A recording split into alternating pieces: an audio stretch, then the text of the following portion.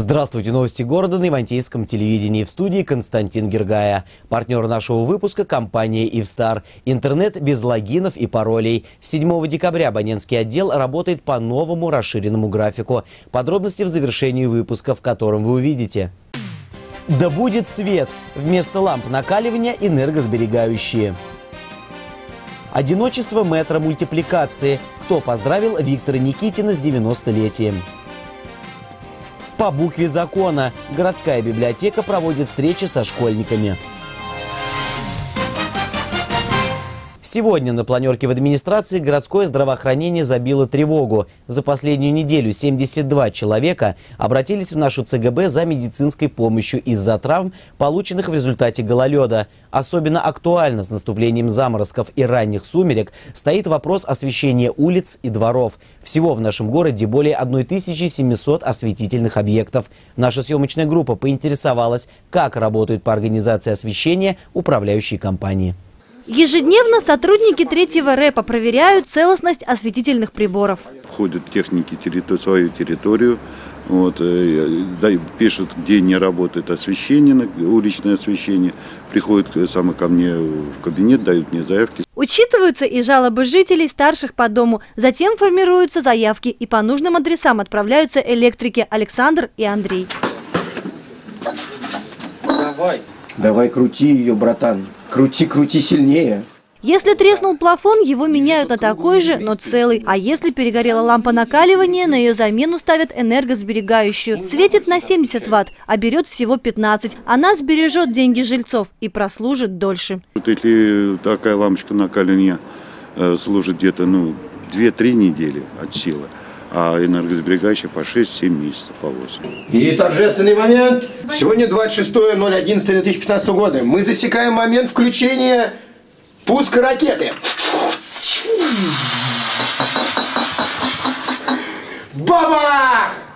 Это быстрее, чем запустить ракету. Пять минут и готово. Электрики отправляются на новый адрес. С октября за два месяца уже заменено около 6 тысяч лампочек и 300 плафонов. Много работы подкидывают вандалы. Есть дома, в которых приходится каждую неделю менять осветительные приборы. К таким относятся здания 26 и 28 по Советскому проспекту. Или бьют светильники, или выкручивают лампочки, поэтому приходится чуть ли не каждую неделю проходить и менять эти лампочки и светильники. А еще рэпы проводят эксперименты. В некоторых местах ставят светодиоды. Они, по словам коммунальщиков, более экономичные и долговечные. Третий рэп на днях планирует осветить ими дом номер 14 по улице Толмачева. Для этого закуплено 47 светодиодных ламп.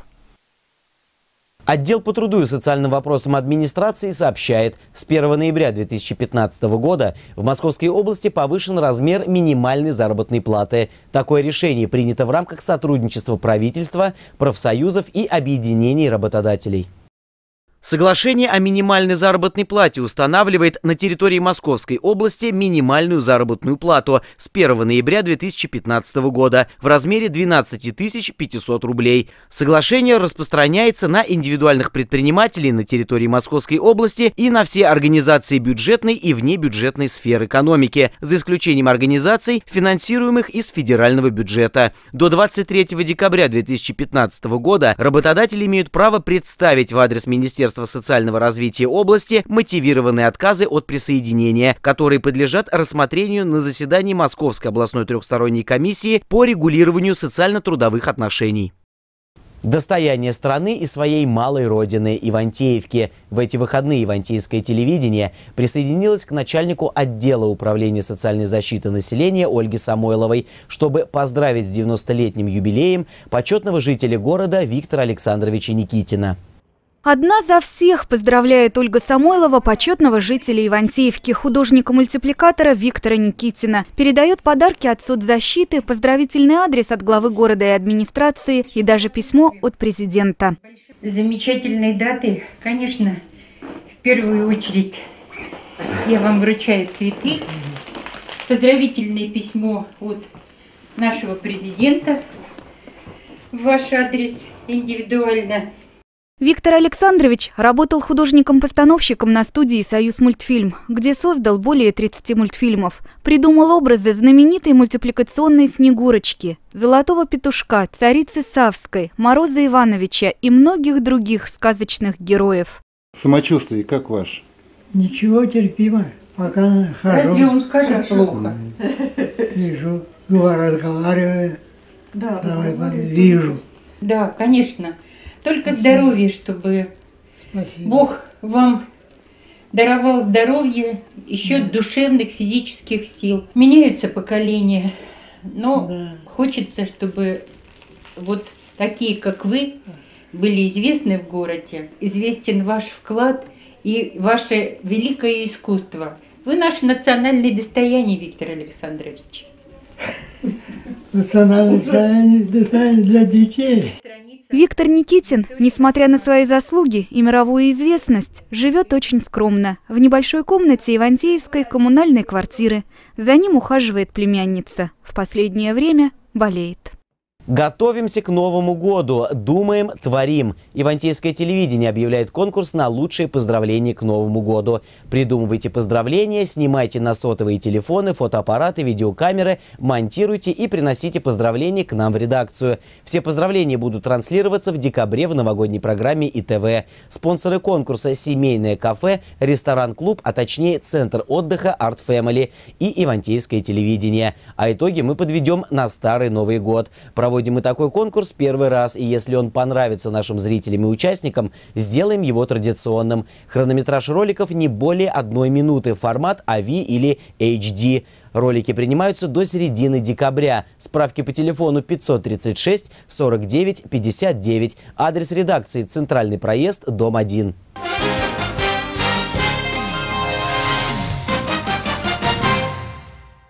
Концерт ко Дню матери состоялся во Дворце культуры «Юбилейный» в эту субботу. В разные дни года мам поздравляют и в других странах мира. В России этот праздник стал государственным в 1998 году. Есть на свете слова, которые мы называем святыми. И одно из таких святых, теплых и ласковых слов – это слово «мама». Это слово несет в себе тепло материнских рук, любовь материнской души, ласку материнского слова.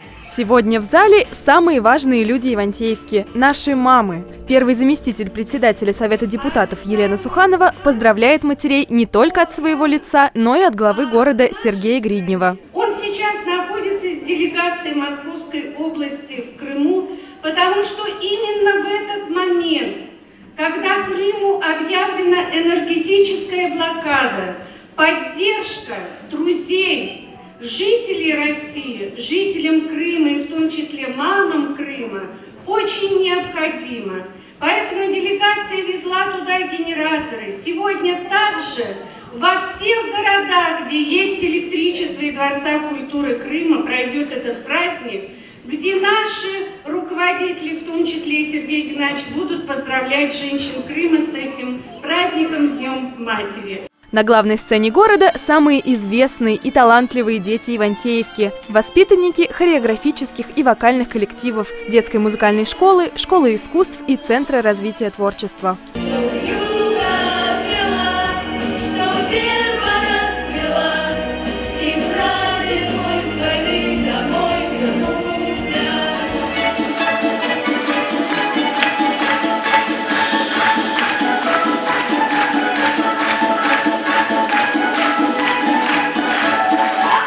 Комитеты по образованию, культуре и спорту награждают мам, чьи дети активно участвуют в жизни города и отличились в этих сферах. Благодарственным письмом Комитета по культуре награждаются Морозова Наталья Вячеславовна. Сын Никита с 9 лет занимается в музыкально-драматическом театре города. Играл главные роли в таких спектаклях, как «Снежная королева», «Буратино», «Республика Шкит», «Мы ждем Годо», «На полпути», «Только не стрелять», «Всем нам ветер поет» и многих-многих других. Праздник мам отмечается в нашей стране в последнее воскресенье ноября уже 17 лет. Полную версию концерта смотрите на канале Ивантеевка 24 на этой неделе.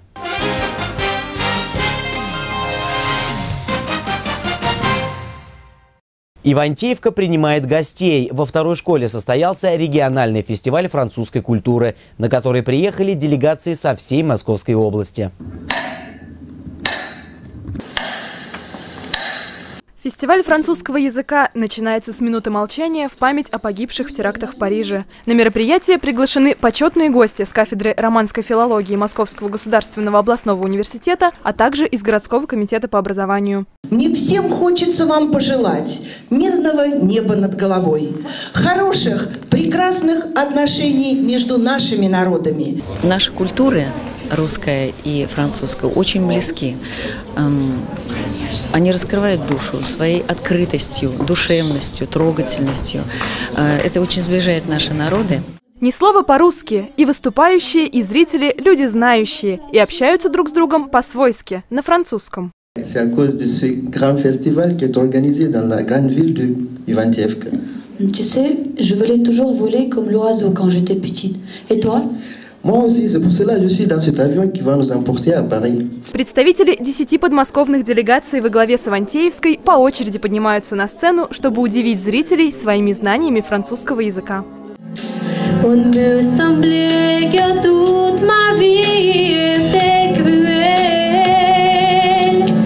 Tout au fond de moi, je n'ai plus jamais peur. Je trouve le sens pas. sur le devant de la scène. Ceux qui sont là de l'attente ne seront point vains que des flammes dévarantes. Ton cœur m'a. Sur ses oreilles dressées, sur sa patte maladroite, j'écris ton nom. Sur la santé revenue, Актовый зал второй школы превратился во французский театр. Школьники играют Золушку, красавицу и чудовище на языке оригинала. Не обошлось и без экзюпери. Маленький принц из шестого класса поет дуэтом с Лисом из третьего.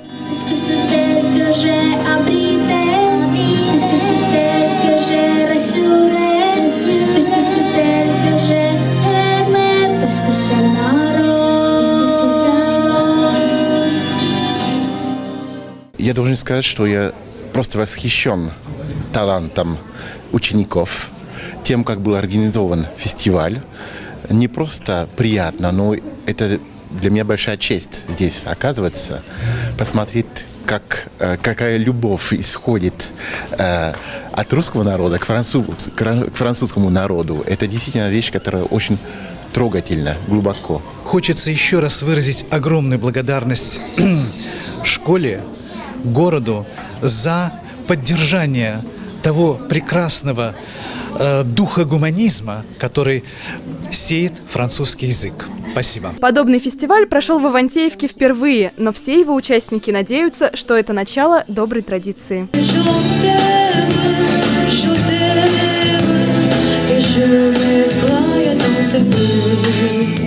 Нашу программу продолжает рубрика «Новости коротко». Ноябрьские события Центральной библиотечной системы Ивантеевки по информации библиотеки. В Ивантеевской библиотеке, филиале номер два, прошло первое заседание дискуссионного клуба «Круглый стол». На встречу с участниками клуба, учениками 10 класса городской школы номер два, была приглашена почетный житель Ивантеевки, заслуженный юрист России, в прошлом депутат Московской областной думы и выпускница второй школы Лариса Толкачева. Во время встречи прошла беседа на тему «Избирательное право России». В рамках дискуссии Лариса Ивановна ответила на вопросы учеников и рассказала, рассказала о том, как проходит работа по повышению правовой и избирательной активности подрастающего поколения. Мы же не можем собраться на вече, как в Пскове или в Новгороде, кричать громче, там, больше камней набросать за или против, вы знаете, да? А выборы осуществляются уже в связи с тем, что как раз через выборы народ и передает свою власть вот тем органам, которые мы избираем. Кто такие слуги народа? Депутаты. Вот, я так и знала. Да. Сотрудники городской детской библиотеки рассказали ученикам о детстве знаменитостей. Историко-литературный альманах с одноименным названием представили для пятиклассников городской школы номер один. Школьники с интересом слушали рассказы о детстве Пушкина, Петра I, Лермонтова, Крылова и других великих людей. Некоторые из будущих знаменитостей отличались талантами с самого рождения. Других считали никуда не годными учениками. Так, например, Моцарт уже в детстве вундеркиндом. А Ньютон был худшим учеником. Прокофьев в 9 лет уже сочинил пьесу. А двоечника Эдисона выгнали из школы. Гагарин в детстве играл на трубе, а Менделеев ставил химические опыты. И все эти люди нашли свое дело, которому посвятили свою жизнь. В Зале искусств Центральной городской библиотеки имени Горбунова прошла лекция для школьников «Вредным привычкам нет». В ней приняли участие ученики 7 А и Б классов городской школы номер 7. Провели диспуты викторину ведущие библиотекари абонемента Людмила Заболотного и Елена Золотцева. Викторину посвятили истории возникновения табакокурения. Перед школьниками также выступила психолог Вантеевского социально-реабилитационного Центра для несовершеннолетних «Теремок» Вера Ярошевская. По результатам викторин, конкурсов, дополнения пословиц и блиц-опроса были определены самые активные школьники. Главная мысль встречи – самое ценное у человека – жизнь, а самое ценное в жизни – здоровье.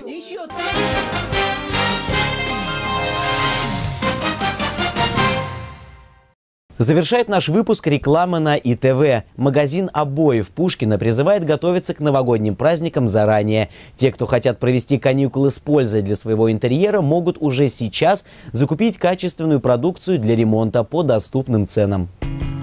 Создать уют в доме – задача не из простых, необходимо учитывать множество факторов. И, наверное, самый главный из них – как будут выглядеть стены. Несмотря на широкий выбор современных покрытий, правят в этом разнообразии, конечно, обои. Фактурные, под покраску или же с дизайнерским принтом.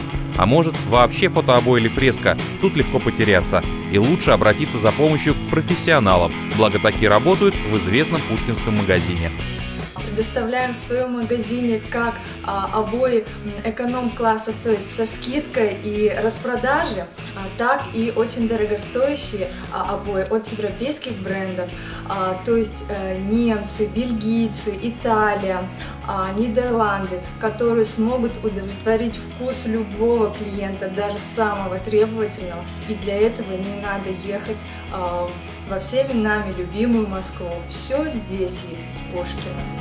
Обои должны быть не только красивыми, но и качественными. Фактура фактурой, но если на стену плохо ложатся, радовать не будут. К убедиться в качестве легко. Картинка говорит сама за себя. Сотни покупателей, что доверили украшение своих стен пушкинскому магазину обоев, не прогадали качество итальянских производителей не подводит. А, к примеру, продукция на флизелиновой основе хорошо декорирует даже не идеально ровные стены, да и стыков не видно. Плюс весьма устойчивы к посягательствам домашних животных, обожающих проверить на прочность новый ремонт. Я живу в Красноармейске, совершенно случайно увидела рекламу по телевизору, вот, решила проверить, что за магазин э, такой изумительный. И не смогла устоять и выбрала себе обои. Сейчас у нас в магазине проходит акция. Один рулон метровых обоев от немецкого производителя возможно купить по цене ниже 1000 рублей за рулон. Вы будете приятно удивлены. Так что если вы хотите перемен к лучшему в доме, можете смело отправляться за новыми обоями. Помогут, подскажут, подберут. Цены доступные, качество высокое, а выбор достойный. Действует система скидок на определенные модели. Самое главное, конечно, индивидуальный подход к клиенту. Кстати, найти магазин обоев Пушкина довольно просто. Достаточно идти справа от городского парка, что возле рынка, а далее по указателю на третий Некрасовский проезд к дому номер три. Партнер выпуска – компания «Ивстар». Городской интернет быстрый, честный, как надо. Телефоны 8 495 518 90 37. Абонентский отдел 8 499 553 09 69. Техподдержка. 7 декабря абонентский отдел работает по новому расширенному графику. С понедельника по субботу с 9 утра до часу и с 14 часов до 20 часов. Таким образом, нынешние и будущие абоненты смогут успеть решить все интересующие вопросы за пределами своего личного рабочего времени. На этом у меня все новости на сегодня. Я, Константин Гергая, с вами прощаюсь. Всего вам доброго, до свидания.